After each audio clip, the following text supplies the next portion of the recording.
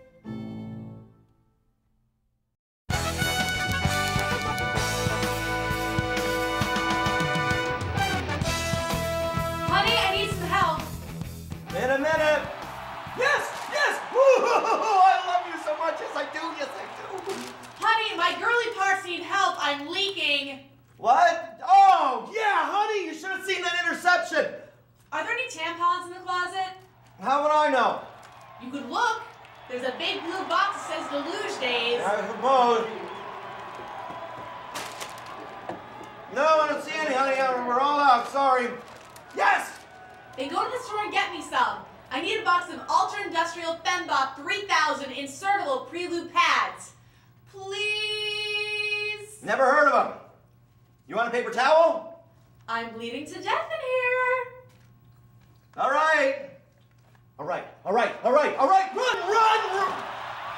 Ah, that was my last beer. Bertram P. Doolittle, you get in that car right now. If you don't come back with a box of Ultra Industrial Fembot 3000 insertable prelude pads, I will put your head through that TV. It is that time of the month there's no jury in the world that could convict me. Honey, I'm going to the store for beer. You need anything? Ultra Industrial Fembot 3000 insertable prelude pads. I am warning you, I'll ask my mother to come live with us. Gross. Okay, uh, paper. Paper. I need paper. Um. Ultra. Fem. 3000. What kind of beer do you want? Go now, get moving. Fumble.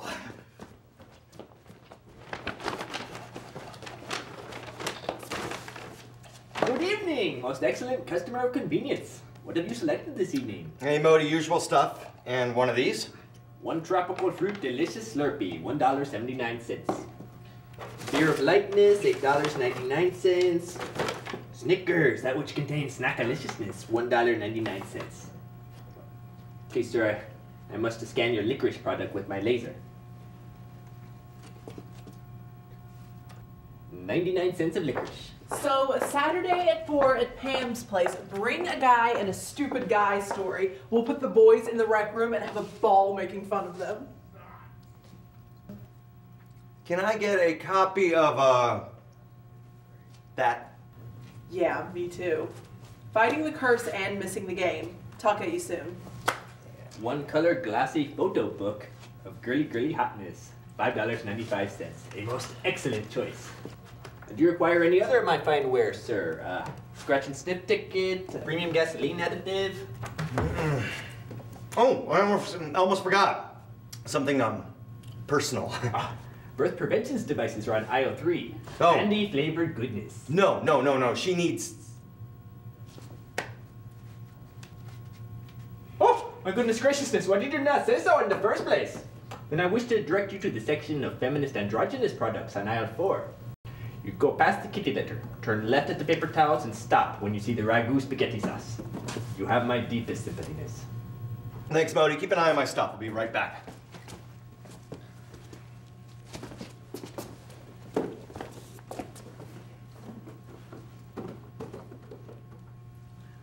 Um, excuse me. Do you by any chance see feminist uh, 3000 product? Excuse me? I'm looking for for my feminist stuff, 3,000. Are you trying to pick me up? Ew, ew oh, with those? Ew, no, no. You consider that a pickup line? It's vulnerable yet clever. No, I'm, I'm looking for these. Did you write this with a Cheeto? I need a hint.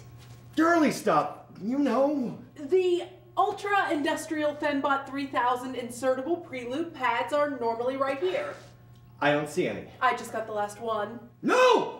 Go fish. They've got paper towels over there. No, no, no, no, no. You don't understand. If I don't get the right thing, she might. She might move her mother into the spare room. How horrible. You should have gotten here sooner. Yes. No. Yes. No. Um, the, the convenience store. I just missed getting the last box. Some woman beat me to him. Does she use anything else? Talk to her. About what? No, I know. I bet Because she has. when I can't find the 3000s, I can get by with a box of these. I'll call you back. It's sweet you made the special trip for her. So. Hi. Hi. If there is one thing that my wife really enjoys, it is the feel I'll bet of she does. pen. Well, I'm gonna go home, pop one in myself, and catch the end of that game. Sounds like a plan. Yeah, you care to make a wager on that game? It wouldn't involve a 12 pack of 3000s, would it? Maybe. Here's a better idea. You've seen the mascot do his dance after a touchdown?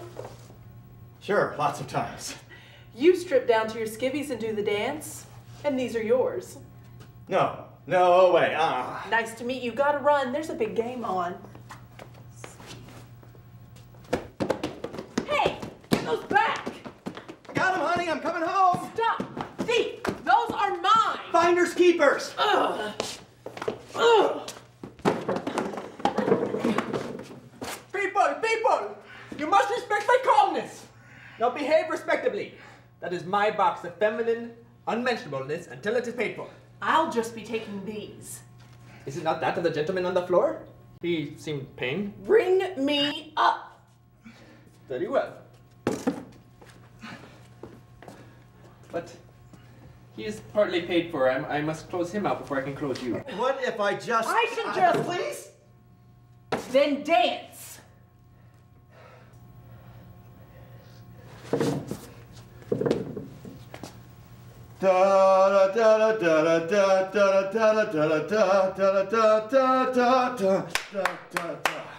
In your underwear? He will not reveal his nakedness in a community standards offending way, will he?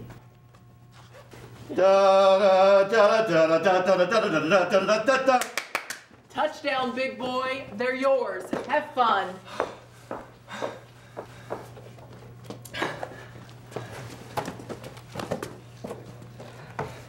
And a box of mysteries, five dollars ninety nine cents. Your total is twenty five dollars seventy nine cents. I only have twenty. Then something must go back on the shelf. No, your backwash contaminates its tropicalness. You've already digested more than my cost. And now you spill your Slurpee on the magazine. Sticky magazines cannot be sold. The box of feminine hygiene naughty naughties would bring you into reconciliation. Modi, you've met her mother. Goodness, yes. You're left with but one option. Uh, Modi, I- I'm in here three times a week. Cut me some slack. Checks are accepted. With driver's license, three major credit cards, and AAA card. If I had a major credit card, I'd use it. Precisely. Is that your answer of finality? What if I just got a six pack of beer? Keep the beer. A wise decision. Kali and Ganesh both approve.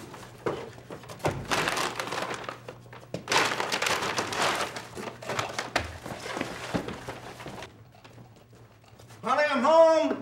You forgot, didn't you? Forgot what? Bertram P. Doolittle! Just kidding. Here they are. Oh, oh, thank God for absorption.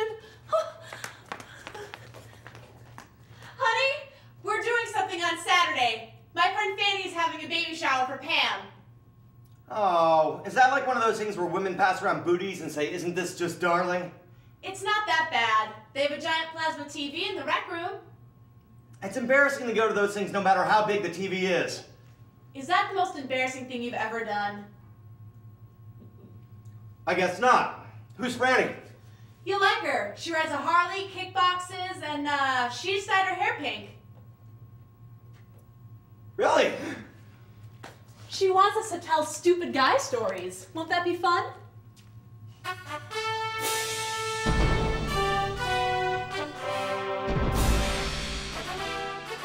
Well, he had quite the adventure, didn't he? Al, you've always got a wacky one. And Jamie, what was it like to direct this? So stay tuned. After this short intermission, we're going to have a conversation about a quest for Kotex.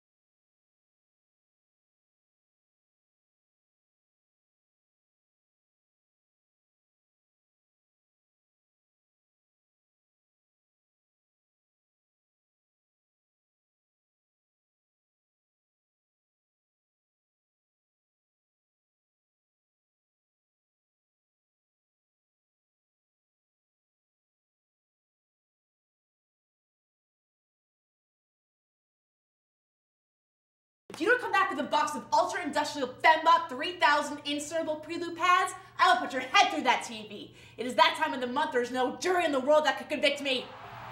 Honey, I'm going to the store for beer. You need anything? Ultra Industrial Fembot 3000 insertable prelude pads. I am warning you, I'll ask my mother to come live with us. Gross. You've just watched another quick clip from Quest for Kotex, a play written by Al Pergande and directed by Jamie Cline. Welcome to the studio, gentlemen. We're so happy to be here. Thank you. All right, let's start with it. Al, this was an adventure, a quest, and, an, an, and an, a humiliation, really. well, it was, it was. Uh, but let me explain the humiliation part. This this play was basically uh, written after I wrote read a book about the hero's journey, and I decided to try and write a little hero's journey for a 10-minute piece. And I had to give my uh, my hero, that's a Bert, I had to give him uh, something to go off and do. And anybody, you take any random guy and you say, go find a magic ring, here's a magic sword, they're gonna go do it. And it's, it's sort of, uh, it's a guy thing. So I said, I want to give this guy a quest that he really doesn't want to do. And I thought, what's the thing that nobody wants to do, no guy wants to do, and that's buy feminine products. so all the little elements of, the hero's journeys are there. There's the call, there's the refusal of the call, there's the, uh, you know, the, the, the threshold guardian, that's the uh, Modi, the, the, the shop owner. Uh, there's the battle in the innermost cave. There's the the stealing of the the stealing of the elixir. That's when he steals the box. There's the the magic flight when he's he's being chased and he has to he has to you know battle off uh, uh, the the attacker and and he eventually comes back to the ordinary world, the world of of his football game. And what he's done besides bring back a, a, a boon, a prize, he's he has grown himself, and he now is able to to take this this new problem, which is this baby shower he has to attend, and it's not the worst thing anymore. He's been through worse. He's he's he's grown as a as a guy, and and that's sort of what I was aiming for here. a quest. It was an epic telling, Al. Right, thank you so much. Now, a lot of the character per, uh, personalities were a little bit stereotyped. I mean, we have the the wife who's demanding. It's that time of the month, and she's hostile and angry. And, and then we have the the grocery store uh, manager or the, the checkout guy. Checkout guy, yeah. Checkout guy, and a little bit of stereotypes. Stere- some stereotypes there. Yeah, and, and, and that was to a certain extent intentional because I wanted to focus on, on the story elements and not try and complicate it. A lot of a lot of movies, um, famous movies, everybody is basically an archetype or stereotype, and they play to that, and and people seem to have no problem with that. I was you know a little nervous about about Modi. I didn't want to make him offensive or anything like that, but I, I did like that uh, that sort of musicality of people who, who uh, work in these stores. And, and I, I tried to catch that, catch that and give him a, a voice where he sounded distinct, and he so he speaks in sentences that are a little bit backwards, and he, he says funny things. He confuses his adverbs and adjectives quite a bit. The box of feminine hygiene naughty naughties would bring you into reconciliation. Modi, you've met her mother. Goodness, yes. You're left with but one option. Modi, I- I'm in here three times a week. Cut me some slack. Checks are accepted. With driver's license, three major credit cards, and AAA card. If I had a major credit card, I'd use it. Precisely. Is that your answer of finality? Jamie, you were drawn to this play. What made you uh, select it as, as your choice for directing this go round? Well, I uh, had been given the opportunity by Alan Chuck to direct any piece, and uh, I was pretty open, and they said, well, I would like you to direct this piece, um, and we've worked in the past, not on anything specific, but we've had dealings in performance and playwriting and whatnot, um, and I really liked the piece. It had a lot of fun quips to it, and the characters were nice, and plus it had four actors as opposed to a million, so it was nice and easy to get people together, sort of. so uh, just really nice, fun, simple, but yet uh, there's still some meat to it, obviously. Now, there's essentially three scenes in this, and uh, a, a lot of blocking involved. Yes. Tell me about some of the uh, the inner workings of getting this to from the living room to the grocery store to the, the, the fight, the running around the, the aisle. How was that for you? Well, um, first off, you know, we're directing in a very low budget setting, obviously, so finding spaces to do all this is very hard. Um, and uh, we were fortunate enough that Samantha, she was the woman who played, uh, uh, Samantha Elkins, she played the lady that came in, Fanny. And she actually had a nice large living room. So we were able to use that. Plus, it had mirrors, so they were able to see themselves and get self conscious about everything they did. Um, so, what we were able to find is that in the journey, you know, you actually, we need to have them physically move. And plus, being a 10 minute piece, 13 minute piece, you don't want to sit there and be, have this set and then the people, stagehands come out, move that, and then bring in the store. So we found it was more fun to be able to have a movement around the stage and bring them from the home to the store. The other reason that we actually had that choice for actually separating the stage into, into pieces as opposed to clearing it and bringing in a new set was also originally uh, for the fight sequence, which ended up being nice, easy, short for various reasons. Uh, but the original idea was to have this big, long out, long drawn out battle uh, between Fanny and Bert, and it was going to go through the audience. It was going to go out into the uh, out into the foyer and around backstage, and you just hear noises and crashes and booms, and so. And we one of the ideas that I had wanted to do was that as it leaves into the audience, it would then go back through the home. So then we have two different areas, and then so they're fighting at home, and then finally back in the store. So it was really nice to be able to use that. Unfortunately, due to constraints, we didn't go with that. But you know, simple is better sometimes. There are a lot of constraints in a one act play, aren't there? There are. Uh, you've got to hit the ground running. You've got to figure out what you're going to do. You need to get the situation and the characters established literally within a line or two. Um, five pages of determining that the guy is a, you know, as a, is a steel worker or something. People will write that, but you just don't have that time. So you've got to you've got to move right along and get to your get to your end point as quickly as possible. Um, I do try and write things when they're 10 minutes. They do hopefully come out at 10 minutes and staging or no staging. And I read them and, and we read them at PRT and, and time them. Uh, and then we turn directors loose and hopefully the time comes out pretty much the same. I haven't actually timed this one yet. Uh, I'll, I'll do that at some point here. We'll time it. I'm sure you will. I'm sure you will. You'll know by the time the show ends. now, tell me the selection of the actors. They they were all they, they did their parts so well. And tell me about the selection process. Um, well, I, when I had been brought in, I unfortunately had not been able to sit in on the auditions at the time because schedules not allowing and not permitting. Um, but Al and Chuck were both there, and um, or at least Chuck was Chuck there. was there. Chuck was there, and um, they had actors that they had sent to me and said these guys read very well for certain parts. And me not knowing a lot of the actors that they had come in with, I, I love to work with people that I don't know. But given that this was a very short time period to rehearse this show, I also wanted to work with people that I knew I had a rapport with, would understand my direction, and be able to hit the ground running, basically. So I was very fortunate. Two of the actors are uh, performers that I've had the pleasure of working with in some capacity um, in my past. And then Modi, uh, that's Andrew Hakimapur, and Samantha Elkins, who played Fanny. Uh, those two came to me through the audition process uh, by recommendation. And so I was able to bring the four of them in. And uh, fortunately enough, uh, as a director, I feel that the majority of the strength that lies in a director is in the casting. That's where a lot of power lies because if you if you pick a, a good cast that clicks like these guys did then it makes your life so much easier. And uh, and these guys really clicked immediately first rehearsal. The trouble that i had actually was landing a bert um, i knew i wanted to go with someone i knew for that. Um, so the first actor that i had picked he took a few days to get back to me and finally once he got back to me and i was already sh- doing rehearsals with my three other actors he came back and said i can't do it. Got commitments. And i'm like okay. So then i went through two other actors who both also ended up having commitments finally landed on scott browning.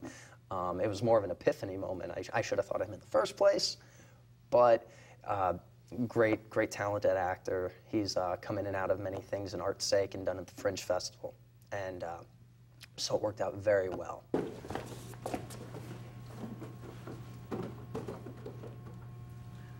Um, excuse me, do you by any chance see Feminist uh, 3000 product? Excuse me? I'm looking for for my feminist stuff, 3000. Are you trying to pick me up? Ew, ew, oh, with those? Ew, no, no. You consider that a pickup line? It's vulnerable yet clever. Now, Al, I know you've had plenty of experience with this, uh, watching your plays and, and writing them, seeing the audience reaction. This one had a lot of animation to it. What was some of the feedback you got? Uh, I, I, nothing but positive feedback, and it really, it really looked a great deal like I imagined it when I was writing it. Um, we set uh, in the in the actual theater. We actually set Bert in the audience in one of the chairs in, in theater downtown. here. Which I caught. That was very clever. Yeah, so he looked. He just looked like some guy sitting there drinking a beer, eating chips uh, when people came in. We were the second show, and so he just, you know, brought the sound up and he starts acting, and people are like, "Oh, there's an actor amongst us." So uh, it, it it's been uh, it's been a very good uh, a very good process. This has been very successful, I think. What about you, Jamie? I know that you've done a, a couple of things with playwrights before. How was this experience um, rewarding for you? I felt this was my strongest uh, showing directorially uh, yet with Playwrights Roundtable. I had the fortune of directing a show a while back uh, with them, and that went very well, and the actors were very, very strong. Um, but this was a uh, four-person cast as opposed to a two-person cast, which I had done with, and time constraints were very limited. So um, when I was able to get in with my actors and still have enough time to be able to go through the actor's process. Uh, for example, with Andrew, um, I- we had talked about the stereotypes of the characters, and I didn't want to come off as offensive, so we actually came up with a few different ideas for him. And uh, this is one of the strongest points I thought is that we were able to still have time. For example, as I was saying with Andrew, he was able to go through uh, like a surfer slacker type of character to, to run the to run the convenience store. Uh, he had a conservative uptight tight uh, type of character that he played with, and he was able to bring all those together. And as Al had said earlier, with the musicality and tonality of that speech pattern that he ultimately used, uh, I still wanted him to go there, but he was able to draw so much else in, and that's just like a microcosm of an explanation as for how it worked with all the other actors. And even though it was, like I said, a short rehearsal period, they still were able to very much delve into a lot of the actor's process and come out on top for the hero's journey. Al, what's the uh, playwrights, the playwrights roundtable experience? Well, it's a it's a small uh, local group, and most everybody knows everybody else. And we get together once a month and uh, read read things to each other um, and make comments on it. And it's a it's a very professional, collegiate atmosphere. So you're not getting people who, who don't know what the, what the process is. Uh, so you do get uh, you do get helpful feedback, um, and you can take that feedback and act on it or ignore it as, as you see fit. That's always your call. Uh, but it's uh, it's very helpful in in finding out what works and what doesn't work. And and sometimes it's not even hearing what people say. It's just watching them react while you're reading it. Do they laugh? you know, do they laugh when they're supposed to laugh? Do they start, you know, picking their fingernails, which indicates they're bored, or start, you know, checking their cell phone, which is another great indicator of boredom in today's society.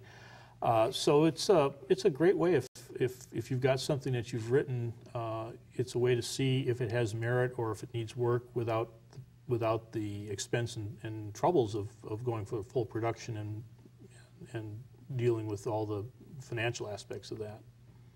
I enjoyed Quest for Kotex. I think the both of you really came up with a very good piece. It was very engaging but hilarious, and there were, to me, it was it was a, an adventure.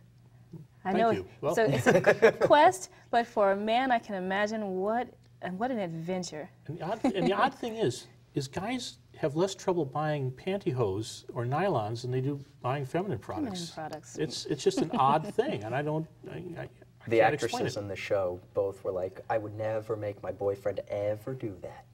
And there are probably some women in the audience that felt the same way, but that that's what made it so funny. It's a, Yes. it's a very it fun. personal. It's a very personal. Whether you're a guy or a girl dealing with this is a very personal thing, and, and that's part of part of what's going on. Thank you very much for sharing this journey with us. Well, thank you for helping us go on it. Absolutely. Yes. Thank you so much for joining us on another episode of Playwrights Roundtable. We'll see you again soon. Take care.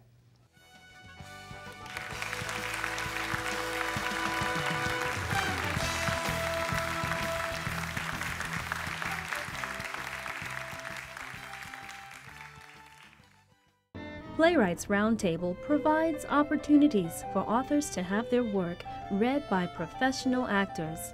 Members of Playwrights Roundtable have seen their works go from cold readings to workshop productions and on to successful full productions.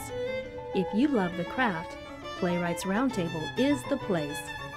For more information, contact Playwrights Roundtable at 407 788 8468 or check out the website www.playwrightsroundtable.org.